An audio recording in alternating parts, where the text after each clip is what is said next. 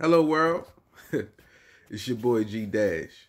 You know, um, shouts out to Harvey Walker. Told me, you know, yo, gotta get up on it. You know, I need to put something out there to the people. You know, especially with this new page popping. So I'm here.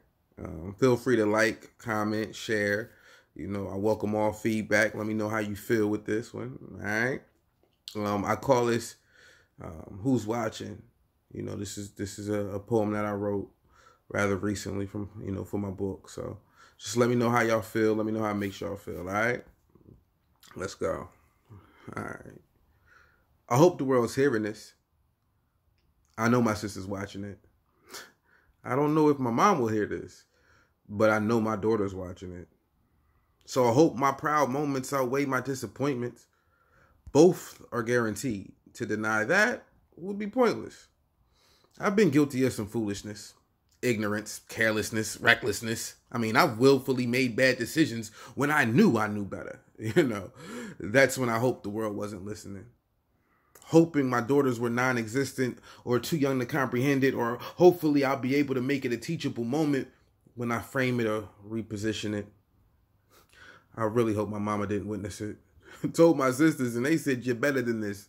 But I wasn't listening. Too busy knowing I was right to admit that I was wrong.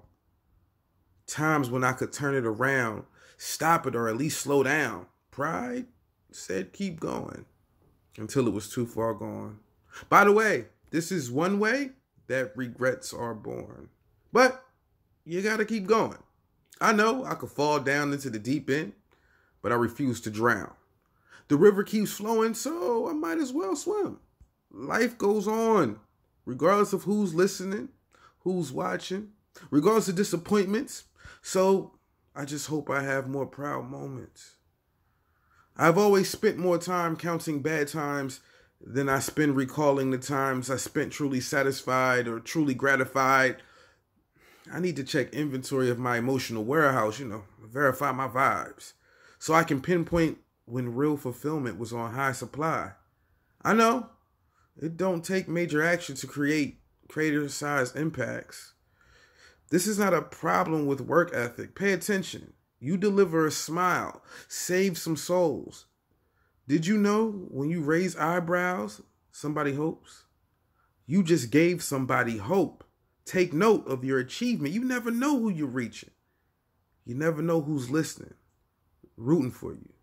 You never know who needs this.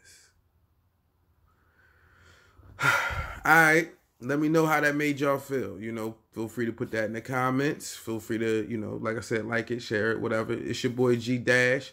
You know, I take it day by day. All right. I'm out.